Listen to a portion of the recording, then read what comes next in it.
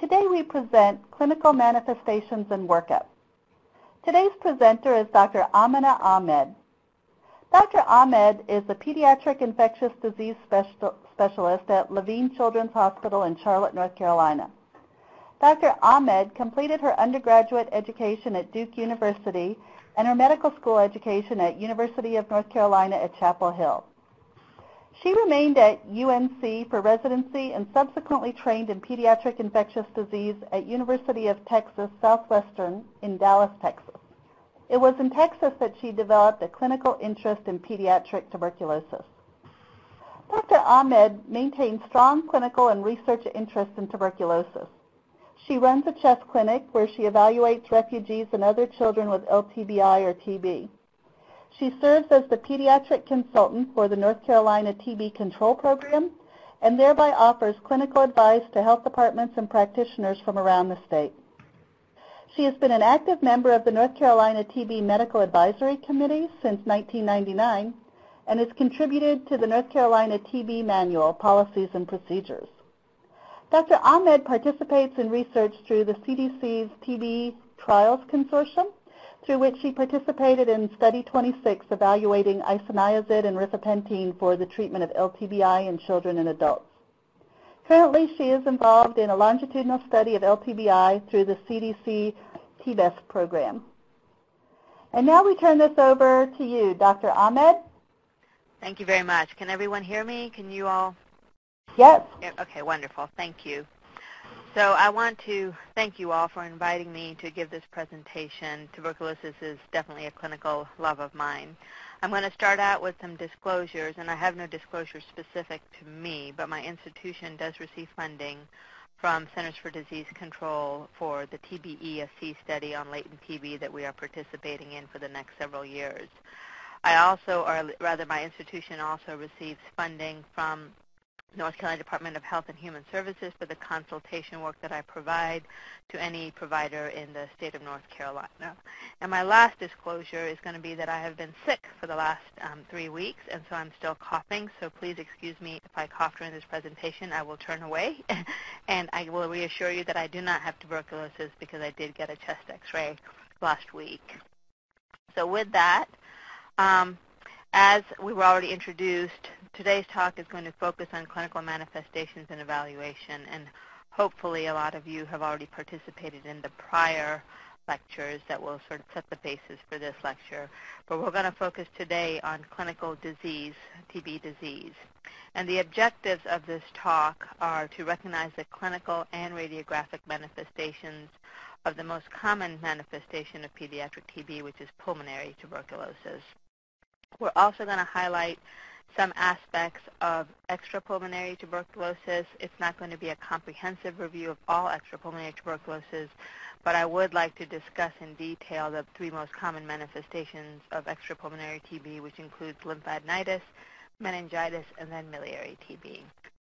And then for the last third of the talk, what I'd like to do is sort of approach it from the other side in terms of evaluation and diagnosis of pediatric TB. We will not go into detail about all the diagnostic tests, but I just want to approach this from either an active case finding perspective, meaning you were screening a child for latent TB or TB and found disease and what to do there, versus a child that comes to you who is symptomatic or has symptoms suggestive of tuberculosis and how to proceed with that evaluation. So some of this is basic, and we have already gone over it in the prior lectures, but I'd just like to review for the purpose of this talk. The terminology that we use in pediatric TB or TB in general is exposure, latent tuberculosis, and then TB disease, which is just called TB. Exposure is what it takes to transmit the organism. TB is transmitted person to person. So once you've been exposed to someone with potentially contagious tuberculosis, you are at risk for infection and subsequently also at risk for disease. Latent TB infection is defined as being asymptomatic and having no radiographic evidence of disease, but having evidence of having been infected with some exposure. And that evidence is usually by an immunologic test, such as a TB skin test, the TST, or an interferon gamma release assay, the IGRA test. So in these situations, the patient has no symptoms. X-ray is typically normal. Um, TB is when the person is asymptomatic, no radiographic evidence, but the only way we know they have the infection is by some immunologic test. Disease is when the patient's infection either reactivates or the patient progresses from infection to further multiplication of the organism in a particular site, and that results in symptoms and signs of disease and or radiographic evidence of the disease on chest x-ray or some other radiological testing.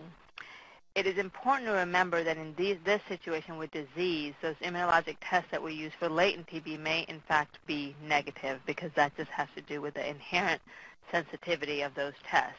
So a negative immunologic test does not rule out disease, whereas a immunologic test is usually the clue to latent tuberculosis infection. Again, you probably reviewed a lot of the pathogenesis, but I, what I would like to point out here is when the organism is transmitted person to person, it lands in the alveolar space it multiplies. And before the macrophages and the lymphocytes contain the infection in an immunocompetent host, before that occurs, there is what we call bacillemia. The organism does spread through the bloodstream and can land in different organs. And the reason I bring this up is because this is the basis for extrapulmonary disease. So during that lymphohematogenous spread, early on in infection, before the infection is contained, those organisms can land in the brain, in the meninges, in the bone, in the renal system, and then later on with multiplication of the organism or reactivation can lead to extrapulmonary disease. Now once the infection is contained, macrophages attack the organism and then lymphocytes respond with activation and it's those lymphocytes that now hold a memory for this infection and they're responsible for the reactive TST. So the delayed type hypersensitivity, which is the TB skin test, can take several weeks to develop, but what it indicates is that the patient's host, the host immune system has handled the infection and contained the infection. So the difference between pediatric TB and adult TB is that adult TB is typically reactivation type disease. The adult became infected some time ago, a year ago, two years ago, several years ago, and now for whatever reason the organisms have decided to multiply, reactivate, and cause disease. In children, especially in, in, in young children, the important thing to remember is that they can go from exposure to infection to disease within a matter of weeks, and they can go to disease even before their TB skin test or their delayed type hypersensitivity demonstrates a positive TST. And so it can be a, it could be part of the continuum of the infection to disease as opposed to reactivation, which occurs more commonly in adults. So we know from studies that were done years ago in the pre-INH era, for example, that the youngest child is at highest risk for developing disease after this infection. So in the pre-INH era, if a mother had tuberculosis, had active disease, they would separate the baby from the mother because there was no prophylaxis at the time. And we know from those observational studies that 30 to 40 percent of those babies developed pulmonary TB, and a high percentage also developed extrapulmonary TB, such as meningitis, 10 to 20 percent. So we know that the younger the child, the higher the risk of progressing from that exposure to infection to disease. So the risk of developing disease is definitely higher in the younger child. Now, when the child gets to be between 5 to 10 years of age, we call that sort of the honeymoon period or the safe school years. Those are the children whose risk of developing disease after infection are at the lowest, 2% to 5% at most. Once they get into adolescence, because of hormones, because of whatever you want to call it, meanness, whatever it is, they tend to have a higher risk of developing pulmonary TB again. And then in adulthood, that risk of pulmonary TB goes back down to 5 to 10 percent. But what I want to point out again is that the rate of develop, the risk of developing disease is significantly higher in the child under two years of age. And then the rate of progression to disease is faster. Again, they can go from infection to disease in a matter of weeks, whereas adults tend to have reactivation type disease. And then the risk of severe disease, such as disseminated TB or TB meningitis, is also higher in this very young age group, which explains why the highest risk of disease overall, TB overall, is highest in the child under 5. Like adult TB, most pediatric TB is pulmonary tuberculosis. In children, extrapulmonary TB accounts for a slightly higher proportion of disease than it does in adults. But for the most part, it's going to be pulmonary tuberculosis. There are many manifestations of extrapulmonary TB, and I have not listed them all, but I have listed some of the major manifestations. And it's important to note that congenital TB can also occur, although it is a rare event.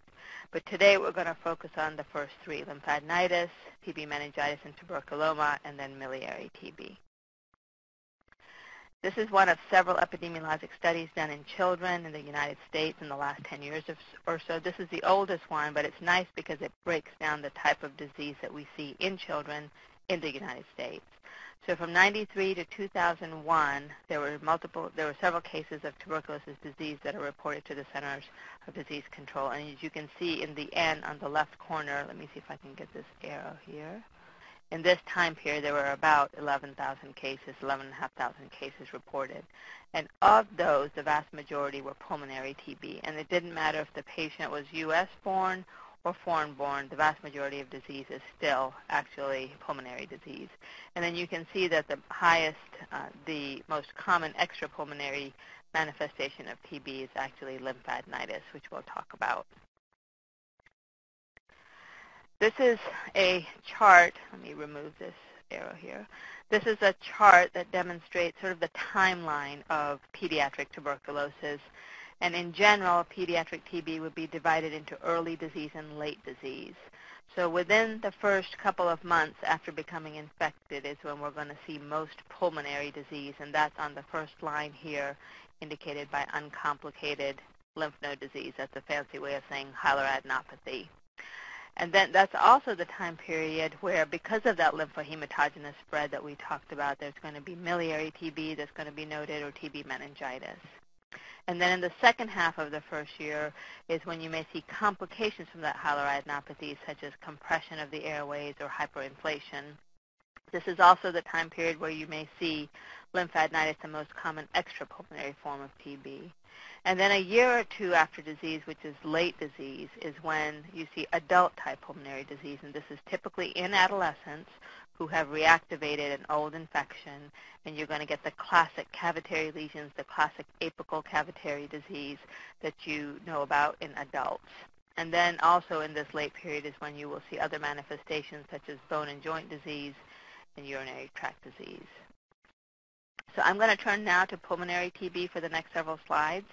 And different people have broken down pulmonary tuberculosis into different schema. But the one that I seem to understand the best is if we break it down into parenchymal disease and lymph node disease, recognizing that in children, lymph node disease is actually the most common manifestation, the most classic manifestation of pulmonary TB. Parenchymal disease starts out typically in the Ghon focus. That's where the organism initially lands, starts to multiply, and uh, causes a parenchymal process that you may or may not catch on chest x-ray. And then this resolves and you may not see anything except maybe a calcium deposit later on. If that Ghon focus also has a localized lymphangitis associated with it, with some edema or swelling or enlargement of a regional lymph node, we call that a Ghon complex, and again, not always recognized on chest x-ray because it may be a fleeting event. And then the other classic parenchymal disease for pediatric pulmonary TB, typically seen in adolescents, is the adult type disease with cavitary lesions. Lymph node disease is much more common in children, especially in young children, where they have an enlarged hilar node or paratracheal node, so the classic hilar adenopathy. And this may or may not be complicated by airway obstruction or hyperinflation or even an associated pneumonia. Progressive primary disease takes that Ghon focus and actually has progressive disease in that focus so that there's a caseous center. It spreads around into the parenchyma and causes what looks like bacterial pneumonia or a lobar pneumonia. That is not very common in children unless, of course, they're immune compromised. It's important to remember that in the United States, most children with pulmonary TB are relatively asymptomatic. As opposed to low-income countries and middle-income countries, most children with tuberculosis in the U.S. are identified proactively, so to speak. They're identified by contact investigation, typically, as opposed to symptomatically. So most of them present fairly early on in disease because we've captured them. They haven't progressed to the point of being symptomatic.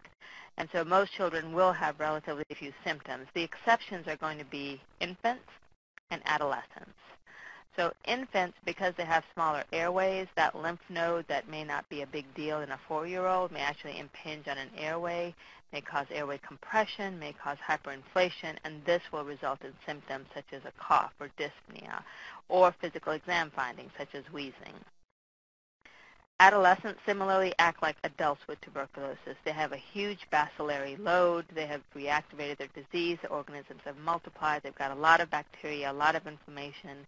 And so they're going to have the classic signs and symptoms we learn about in medical school that are associated with TB, such as fever, cough, weight loss, hemoptysis, and night sweats.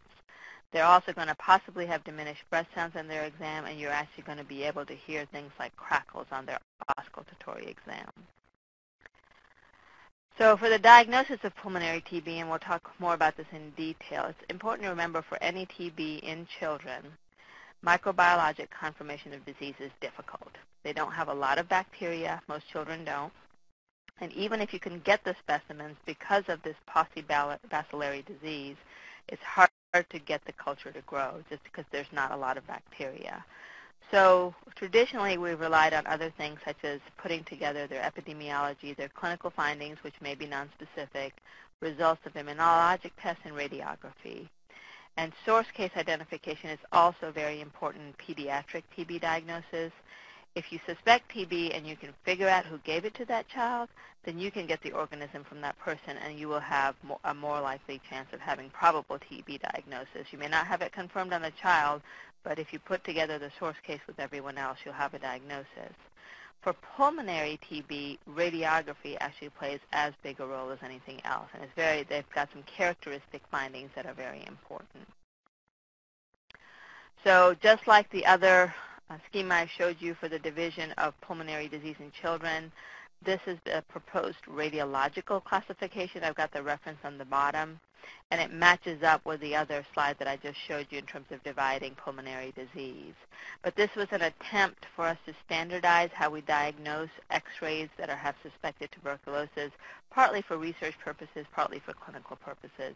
And again, it's just broken down into parenchymal disease, lymph node disease, and then added on is miliary disease, pleural effusion, and also pericardial effusion. And this classification matches up very nicely with this cartoon, this diagram of what we would expect to see on chest x-ray with children with pulmonary TB. Fortunately, the two articles are by the same person, so it does match up nicely. So you may just see the child who had a Ghon focus at one point that you can barely see here, but you may see enlargement of their lymph nodes. I'm sorry, let me bring my arrow out here. You may see enlargement of their lymph nodes here uncomplicated lymph node disease, not causing any problems. This Ghon complex, this Ghon focus may multiply and start to form a caseous center and then cause a bronchopneumonia. Or you may see the lymph nodes enlarging to the point that they're actually compressing the airway and causing airway compression atelectasis.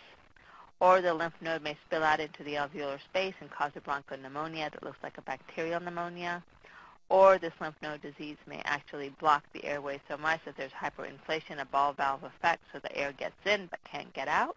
And now you've got hyperinflation or miliary pattern that we'll talk about.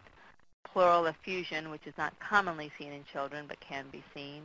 Pericardial effusion, and then of course the adult type reactivation disease, which classically um, occurs in the apices.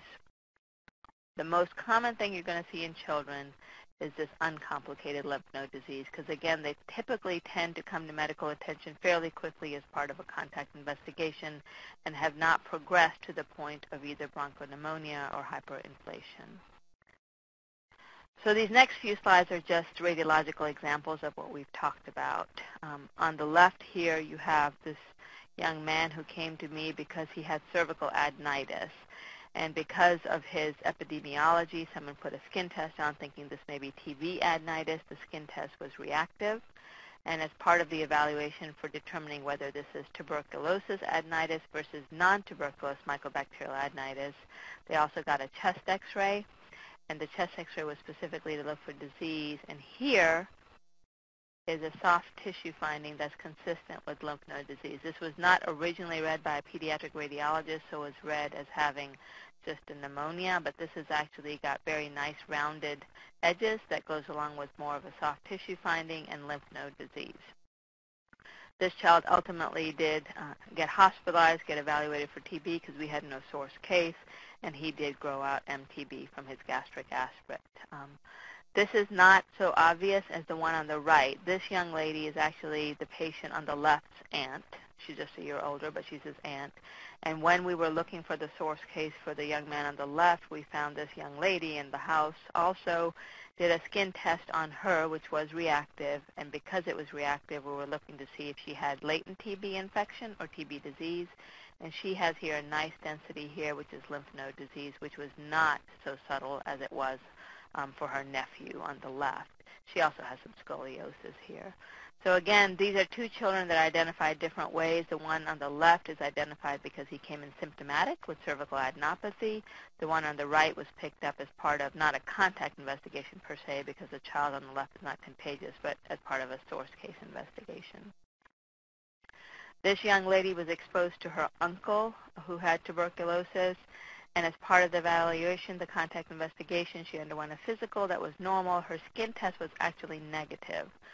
So normally we would just repeat a skin test in eight weeks, but because of her age, because she's under five years of age, she warrants window prophylaxis, which would mean that we put her on isoniazid for eight weeks so we can repeat the x-ray, I mean the skin test, and that's mainly because she is at high risk for progressing to disease, as I showed you in that chart earlier. So because she's about to be put on isoniazid, the last thing we want to do is put a child on isoniazid if they actually have disease, and we just missed it because the TST was false negative or hadn't converted yet. So we always get an x-ray before we put a child on window prophylaxis, and when we did that, we found that she actually also had hilar adenopathy. So she, in fact, had disease, not just latent TB.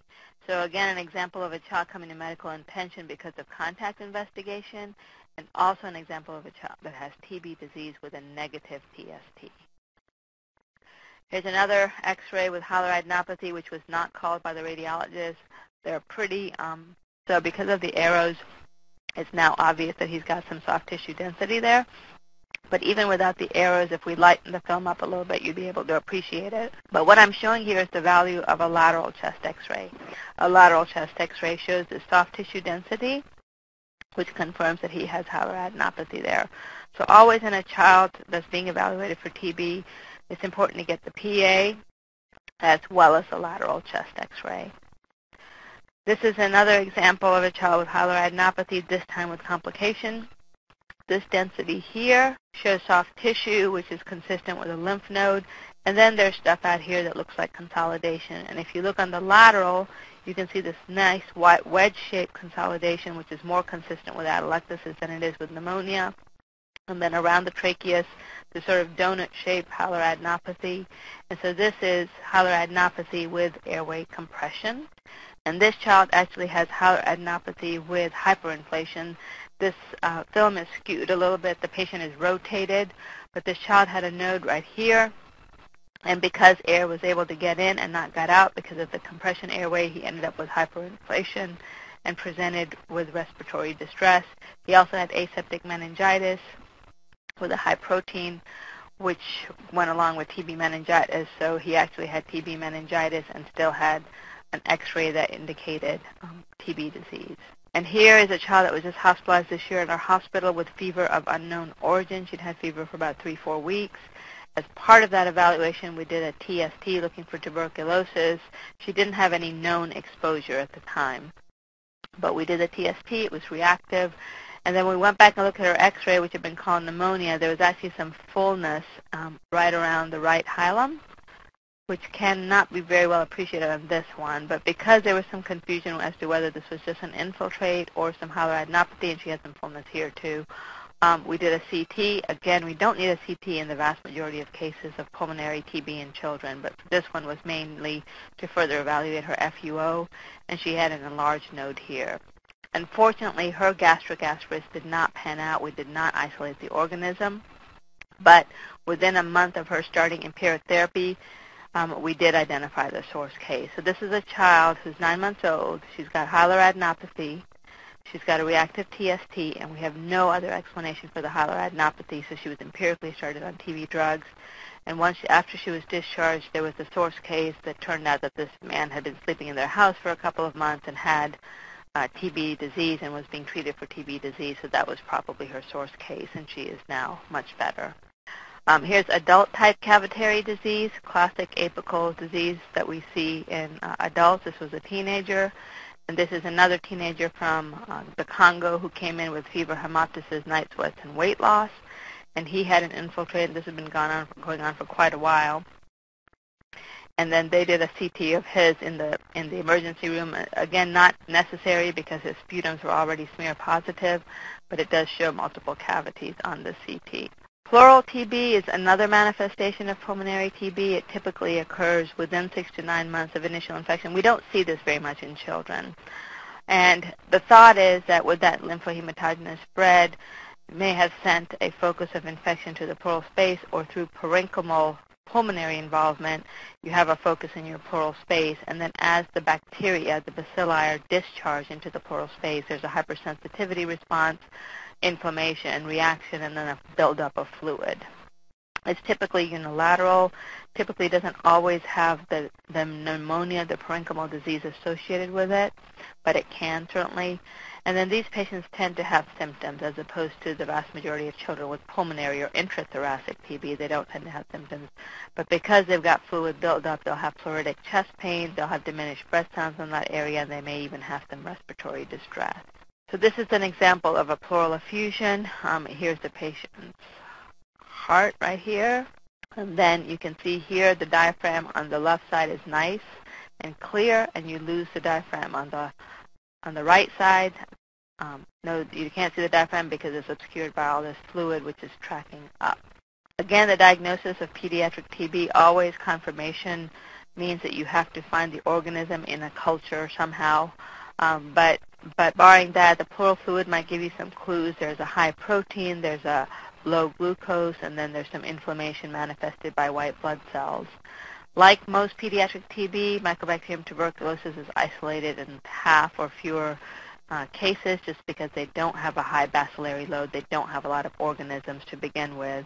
But if you actually get a biopsy tissue, um, whether it's node or pleural uh, or pleura, it's uh, it's going to have a higher yield on your isolate, meaning you have a higher likelihood of actually finding the organism. Now, that's uh, pulmonary tuberculosis, so intrathoracic pulmonary tuberculosis in children, as we talked about, and then pleural uh, TB, which is another manifestation of pulmonary but not intrathoracic tuberculosis per se. So this is, now we're turning to extrapulmonary TB, and TB lymphadenitis is the most common form of extrapulmonary TB that's reported. Classically, it was called scrofula for Mycobacterium scrofulaceum, which is actually a cause of non-tuberculous mycobacterial disease, but that is what it was traditionally called. The epidemiology of this disease is interesting. It's different from regular pediatric TB in that, first of all, we tend to see it in older patients, the peak age being at 30 to 40, women more than men, and then at least in industrialized countries, when we do see it, it tends to have a predilection for immigrants that are from Southeast Asia. So we see it in the Vietnamese population, in the Filipino population, the Indian population, for example. If you see it in a child, it's always important to ask about the history of ingesting unpasteurized dairy products. Because a child that has TB lymphadenitis, it might be regular old Mycobacterium tuberculosis, or it may be due to Mycobacterium bovis, which is cow tuberculosis essentially.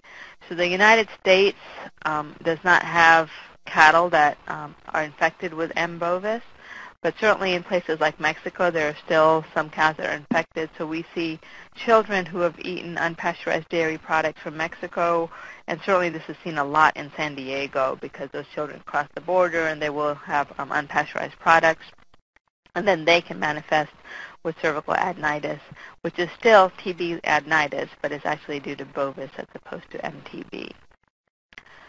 The clinical presentation of this typically occurs in the first year after infection, again, uh, either through lymphohematogenous spread or in the case of Mycobacterium bovis is probably due to ingestion and then drainage out, lymph- lymphatic drainage into the cervical space at that time. But when this does occur, it's typically within a year of infection, although in the older Southeast Asian population, I do wonder if it's just sort of a manifest years later as opposed to months later. It is typically unilateral, involves one to three nodes, and usually painless, not very tender to palpation. It may be slightly discolored, but it does not have the violaceous hue of non-tuberculous mycobacteria. And rare, rarely we may see some draining sinuses. Because of when they present, when these patients present, you may or may not see pulmonary disease. So their pulmonary disease may have self-resolved. You may have an infiltrate. They may still have some hilar adenopathy. So the first x-ray that I showed you in pulmonary TB, the child who was Hmong, whose, whose aunt also had TB disease, he actually presented with cervical adenitis and also had evidence of disease on his chest x-ray. So putting those two together, you know it's probably TB as opposed to non-tuberculous mycobacterium. But oftentimes the pulmonary disease may actually be absent by the time you're evaluating the patient for TB adenitis. In terms of diagnosis, your TB skin test may or may not be positive, so remember if it's negative, it doesn't rule it out. Chest x-ray is abnormal in 10 to 40% of the cases, like the, the Hmong child that I showed you who had cervical adenitis. But definitive diagnosis always requires isolation of the organism, either by culture or by NAAT, which is nucleic acid amplification test, or PCR. We know that more tissue is better. Excisional biopsy is going to give you a higher yield than a fine needle aspiration, which takes just a core of tissue. Um, but you can always start with needle aspiration. And the histology is going to show granulomas or caseous necrosis, Langerhans giant cells, but the histology is not going to be able to tell the difference between Mycobacterium tuberculosis, Mycobacterium bovis, and then non-tuberculous mycobacteria because it's going to look very similar histologically. This is a report of several series of TB lymphadenitis from around the world, and what I want to point out here is that diagnostically the excisional biopsy is always going to have a higher yield than the fine needle aspiration. So 93% versus 62%. This one was pretty equivalent, 18% versus uh, 10%. So in general, the excisional biopsy is going to have a higher yield, but there is more morbidity, of course, associated with that surgery.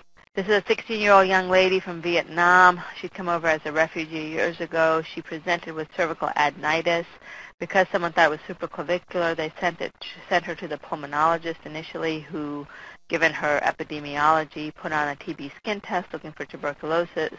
Skin test was reactive, and she was in surgery clinic when they noticed that, and so they asked us to come read her skin test. And in evaluating her further, her mother was with her, had on a scarf, and it was August. And for those of you who live in the southeast, it is too hot in August to wear a scarf, especially a wool scarf around your neck. And when we asked her why she was wearing a wool scarf, this is something that we do in pediatrics and probably not in internal medicine, but she took off her scarf and showed us, the mother did, a scar in the exact same location where this child has cervical adenitis. So the mother nine months ago had had a similar lesion removed. It was not cancer. She was relieved. They moved on. The lesion recurred. It was removed again.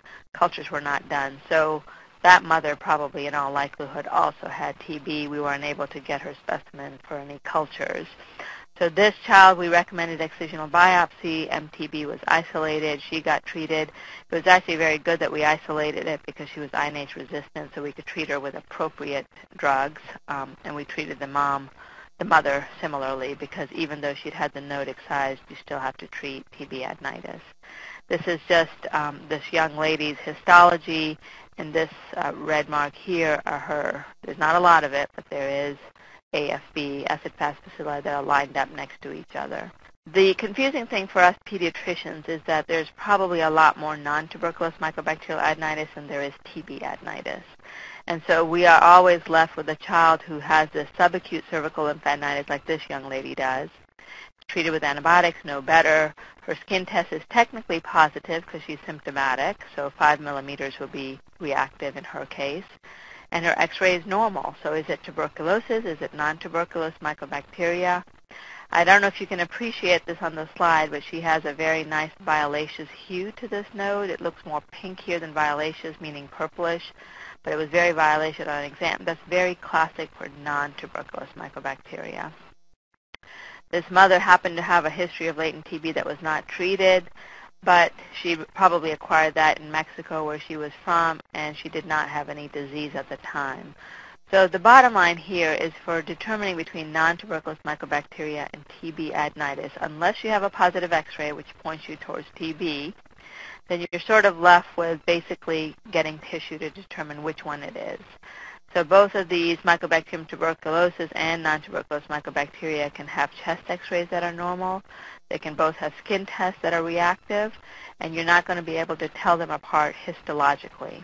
So in the end, you have to get tissue to be able to determine it and culture, and that is what happened in this particular child that I just showed you, and she had non-tuberculous mycobacteria. Because of her classic appearance, we did not start her on empiric therapy.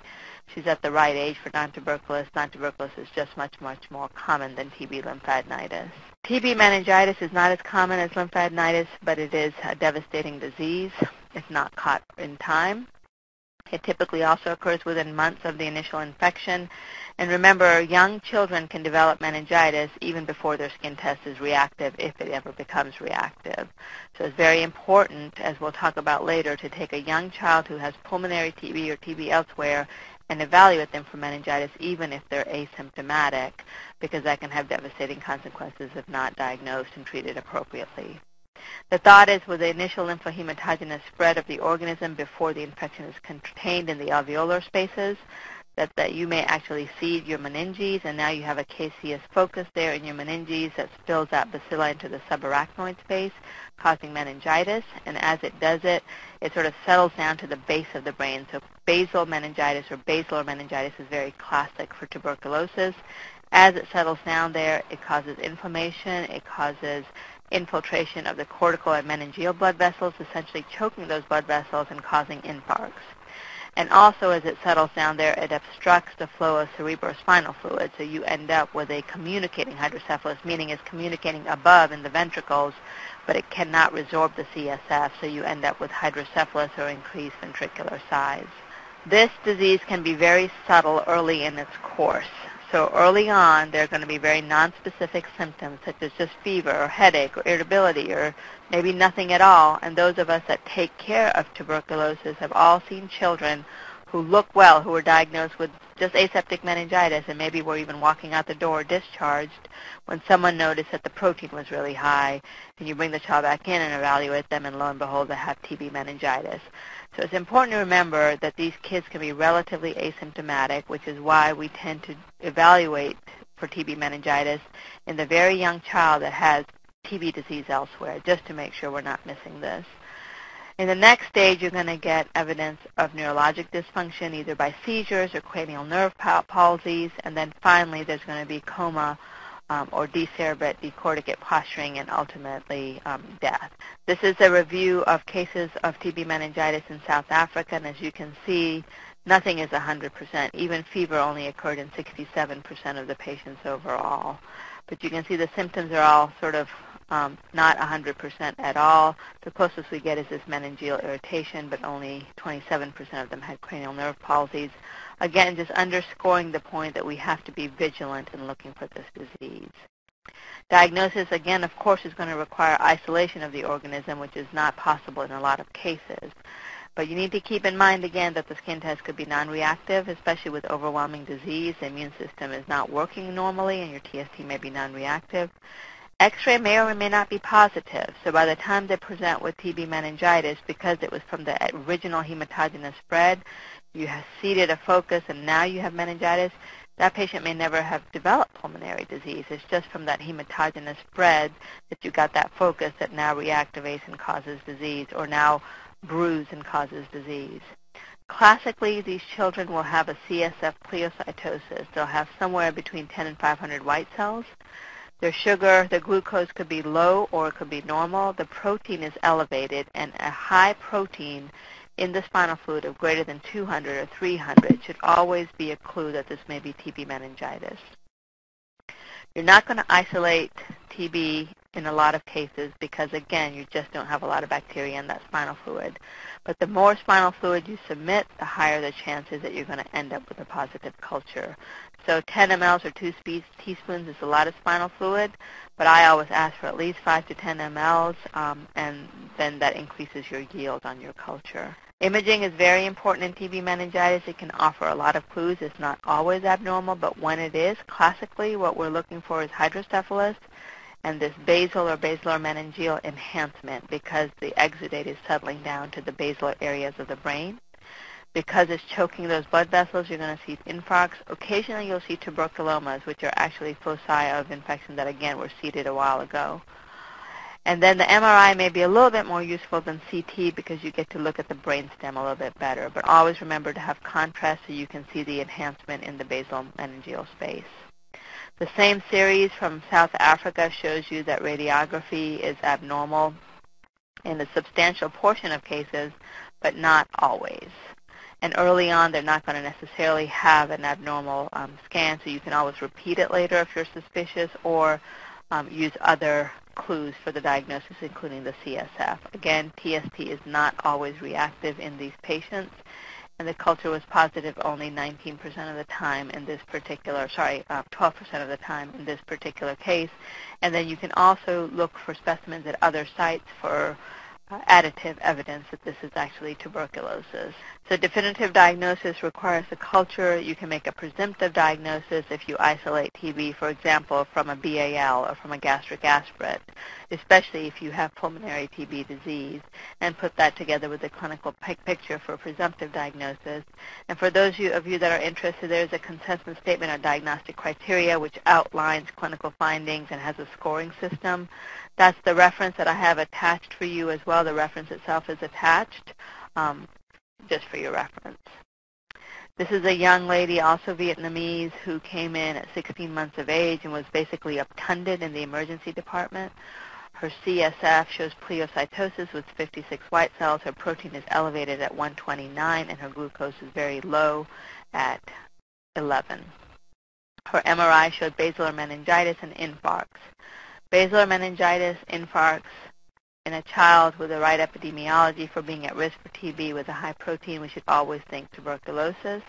Her CSF smear was negative for TB. Her CSF um, culture was negative, but because she had X-ray findings and we were able to get a BAL, um, a sputum, sorry, because she was intubated, uh, we did isolate MTB from her by culture. That was identified after her death, unfortunately. And when we went back for the source investigation looking to see who around her could have TB that might have given her TB, turns out that the mother had been diagnosed with latent TB months ago but had not been treated and went on to develop disease and actually had positive X-ray findings. So on this MRI, I want to just point out hydrocephalus here, enlarged ventricle space. And then here we're looking at sort of a, um, a coronal section here, and this is the base of her brain, and all this white stuff is exudate. This is what we would call basilar enhancement. So in a child that has aseptic meningitis, meaning that the gram stain is negative and the culture is negative for bacteria, with hydrocephalus or basilar meningitis, we should really suspect TB. If you've got all those changes, basal meningitis, hydrocephalus, infarction, or cranial nerve inv- involvement, and there's no other apparent cause, we should probably start TB therapy empirically until we know otherwise. And then the source case may be the key to your diagnosis. In this particular situation, we knew about the mother before we had her cultures back, and so it sort of cinched the diagnosis. Tuberculoma is another manifestation of uh, CNS TB disease. Uh, the lesion may be singular or an infratentorial. These patients may have headache or fever or may have no symptoms until they develop a lot of edema or swelling around the lesion. This is a 19-month-old who came in with suspected TB. Her mother had been diagnosed with tuberculosis recently, so as part of the contact investigation, she had a physical exam, a, a TST that was reactive, and a chest x-ray that was read as being abnormal, but it wasn't really clear if it was abnormal or not. Um, her physical exam, according to the primary care physician, was normal, but because someone had noted irritability because she was very young with pulmonary TB, we thought she should perhaps have an LP done. Here's her mother on the left here with cavitary disease, and here she is, and this is hilar adenopathy bilaterally on her. So we asked her to come in for a repeat chest x-ray because the initial one wasn't very clear, and a lumbar puncture because of her age. She got the x-ray done but got sent home because she ate a Tootsie Pop and so couldn't get an LP because she needed sedation. Came back the next day for an LP. They couldn't do it, so they hospitalized her and did a spinal tap. and the spinal tap showed a protein of 466, which even with a bloody tap like with 113,000 red cells is still very abnormal. She has some white cells in there, so she has pleocytosis. And because she has evidence of maybe TB meningitis, we would image her brain, and in her brain what we found was one lesion with a lot of edema around it, and multiple tuberculomas. Here's one here, this white spot here, this white spot here, this white spot here, this white spot here, this white spot here. All of these are tuberculomas. I think she had 19 in all. She was running around happy as could be, was never irritable for us, completely normal exam, which underscores the importance of doing lumbar puncture in these young kids. And lastly, miliary TB. This is when there's hematogenous spread with the primary infection, as we talked about and the tubercles actually get stuck in the capillaries and cause miliary lesions that we can see on the chest x-ray. This is a fairly insidious presentation with fever, swollen lymph glands, big liver and spleen, hepatosplenomegaly, even before you see the x-ray findings. And it typically occurs either in the very young patient whose immune system is not very well developed or an immune-compromised patient because they can't handle, as the organism is multiplying, they can't handle the infection very well, and so there's there's miliary spread.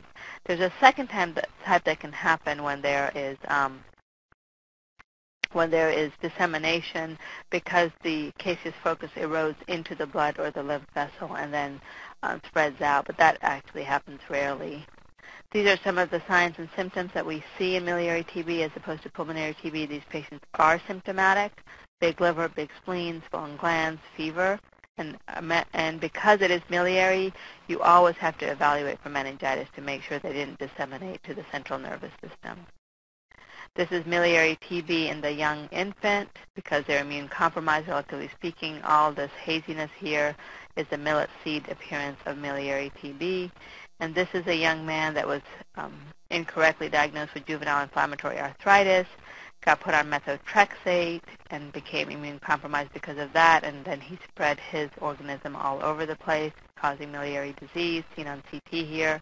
Turns out he didn't have juvenile idiopathic arthritis. He had TB, synovial septic arthritis. Um, and that's why when he got put on something that immune compromised him, he developed miliary TB. So again, with definitive diagnosis requires isolation of the organism. The x-ray is pretty classic in this, and so that would be a presumptive diagnosis.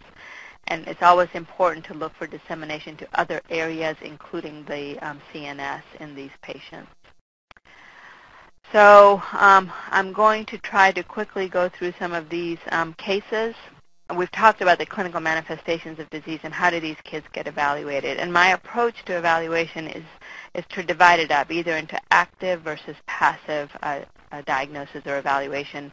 So active case finding uh, implies that we have been screening a child or doing a contact investigation and then and because of that contact investigation, we identify a child who may have TB disease. So that's called active case finding, whereas passive case finding is when the child presents with symptoms, and then we evaluate the child to determine if they may have tuberculosis or not. And like I said, in the U.S., at least half of the cases are identified by contact investigation. This is another series from 2009 to 2010. And as you can see, for U.S.-born children, as many were identified by contact investigation, so active case finding as opposed to passive where they presented with symptoms. So it is important to remember that most of these kids will actually come to us through contact investigation, so may be asymptomatic. When we do evaluate these children, in general, because it's hard to confirm their diagnosis, we rely on a lot of other things, such as epidemiology, clinical presentation, radiographic findings. If we're lucky, we'll have microbiologic confirmation of the disease. But again, it's as important to find who gave that child TB as it is to do the microbiologic confirmation because if you can find the source, it's very likely that you'll be able to isolate the organism from the adult who has TB. The tools that we have are listed out here for you, which you're familiar with, X-ray, TST, microscopy, uh, PCR testing, including the Xpert testing. So I'm going to just briefly talk about TB, skin test, and IGRAs in the diagnosis of TB, and you all are familiar with this, but neither of them can tell you the difference between latent TB and TB disease. and neither, if negative, can actually exclude TB disease. So it is important to remember that because there is going to be variable sensitivity in various presentations. It is important, though, to remember that if you're really suspecting TB disease in a kid, you can use the two together, and I have done that. So the two together would increase your sensitivity. So here's a series, for example, of patients with TB disease that's culture confirmed. If you looked at the culture confirmed cases, only 76% had positive skin tests, 72% had IGRAs, but put together, 94% um, were able to be, actually had immunologic evidence of disease. So when you're using these tests, you can put the two together. Radiography, as we talked about, is very important in pulmonary tuberculosis, but it's also important in extrapulmonary, as we saw from meningitis. So it's important to use this tool as well. And then remember to always review it with a pediatric radiologist if you can, because the adult radiologists are just not very familiar with hilar adenopathy, so you always want to review it if you can. The thing that's going to be a clue always for pulmonary TB is hilar adenopathy, and as we already discussed, both frontal and lateral films are recommended to pick that up microbiologic confirmation is always difficult in kids. It's hard to get them to huck up sputum for you. So you're going to be dealing with gastric aspirates and BALs, which are difficult to obtain. And even if you get the specimens, then you're left with a kid who has very few bacteria, and so it will be difficult to culture out. And therefore, culture positive TB is not the rule. TB is isolated in fewer than 60% of the children, and the smear has even a lower yield because, again, you need to have a certain number or concentration of bacteria to be able to see it on smear, and that does not happen very much in children with paucibacillary disease. So negative culture and negative smear does not rule out TB. When should you attempt confirmation? There are some kids that you just think, oh, why, why even do it at all? But when should you always try to isolate the organism? You should do it if you don't have a source case. If you don't know what the children's house isolate is and you need to optimize therapy, then you should try to do confirmation. If it's not available or if you suspect resistance, then you should certainly try that as well. And here are the specimens that you can use. There's various specimens. I'm going to skip over the next few slides and let you guys look at that at your leisure for the details of these different specimen types. But now the approach to evaluation, either we're going to screen and happen to identify a kid, do a contact investigation, and identify a kid, or the child is going to come to us symptomatic, and then we're going to definitely attempt microbiologic confirmation because we will not have a source case. So here's a child who was adopted from Guatemala, Friday, 4 o'clock, has a reactive TST. The physician sends, him on, sends her in for a chest x-ray, and as you can see on the chest x-ray, there's evidence of hilar adenopathy here. So the positive skin test hilar adenopathy in an asymptomatic child that from a region where there's TB. This is TB until proven otherwise. We don't know where the child got it from. We don't know how much resistance she has. So we've got to get the isolate. So we put her through gastric aspirates and given her age and subtle signs of TB meningitis, we did the lumbar puncture as well in the hospital. We were able to isolate TB from her and identify, a tailor her therapy. So here's an example of a child with suspected pulmonary TB identified by screening, source case unknown. What do you do in that case? You attempt confirmation, use whatever specimen you've got, and remember a negative culture doesn't always exclude it, so if you really suspect it, still treat the child. We're going to do an LP to look to make sure that the child in that lymphohematogenous spread did not spread to the CNS, and always test for HIV because the two diseases go hand in hand. Why the lumbar puncture? We already talked about this, but it, that meningitis may develop subtly and it may occur before the skin test is even positive. The younger the child, the higher the risk of meningitis. So we recommend an LP lumbar puncture in any child under 1 to 2 years of age. For North Carolina, we say 2, who's diagnosed with TB disease elsewhere, like pulmonary TB, like this child was. So we suspected pulmonary TB, and we did a spinal tap, and fortunately it was negative. Remember, it's also going to impact how long you treat. You treat meningitis longer than you treat pulmonary disease. I'm going to skip over this case in the interest of time. This five-month-old came in, was evaluated in the ED with a cough. There's a chest x-ray with hilar adenopathy noted, and she was admitted for uh, evaluation with gastric aspirates. Um, and then she underwent an LP because of her age, and we started the source case investigation. Again, you've got a symptomatic child with suspected pulmonary TB. um, who has a source case unknown, and here you do have to attempt to find her organism, one, to confirm disease, but two, to have an isolate for susceptibility.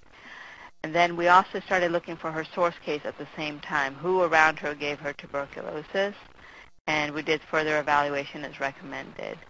In her source investigation, we figured out that it was actually her uncle. Her parents had LTBI but had normal x-rays, and then the uncle was found to have this x-ray on further evaluation after his skin test was reactive with cavities right here.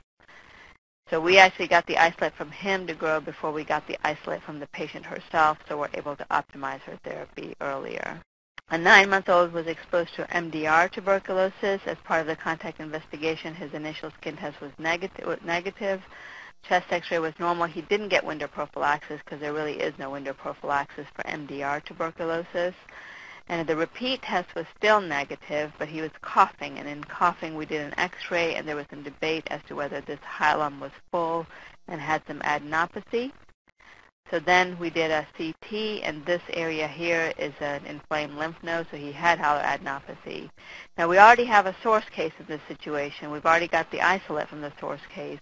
But because this source case has resistance, and I'm about to put this child on highly toxic medicines, I would like to know, first of all, if it's really TB, and second of all, is it more resistant than it was because in this particular case, the source case was not taking his medications very well.